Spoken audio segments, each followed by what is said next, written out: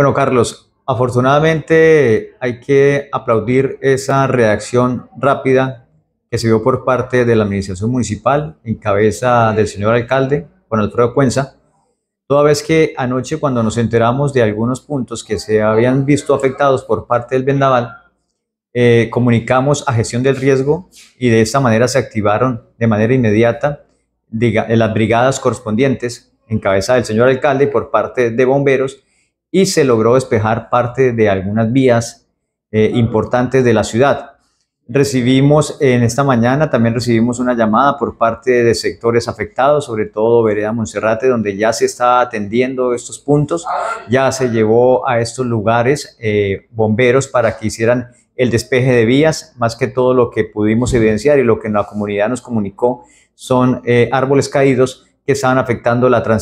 el tránsito eh, de los vehículos, de personas y demás. Entonces, frente a eso, pues a la personería nos llamaron solicitando el apoyo, pero reiteramos, eh, fue una acción inmediata por parte de la administración municipal.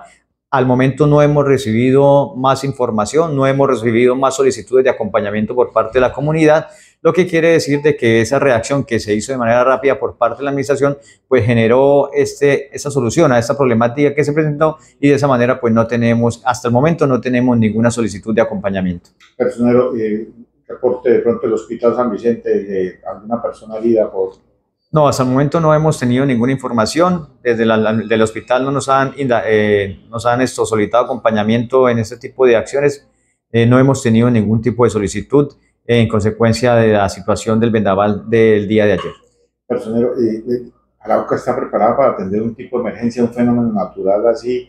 ¿Qué se ha analizado después de lo que pasó anoche y más cuando también se suspende cuando va aterrizando los aviones que cubrían la ruta a Bogotá, Arauca, que les tocó devolverse? Pues Carlos, son situaciones adversas. La verdad que eh, yo creo que ningún municipio del país está preparado para una situación como estas. Allí es donde se ve la reacción por parte de los cuerpos del socorro.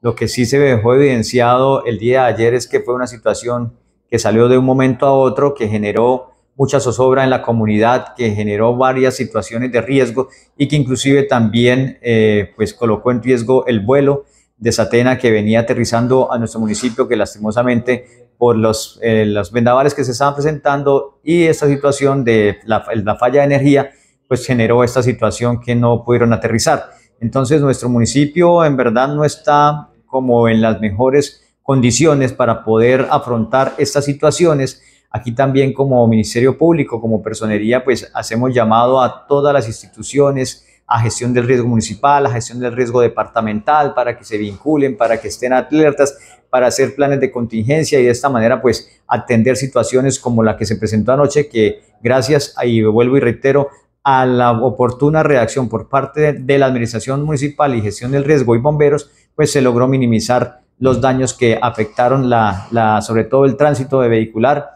y pudimos de esta manera pues solventar esa, esa necesidad que se presentó anoche.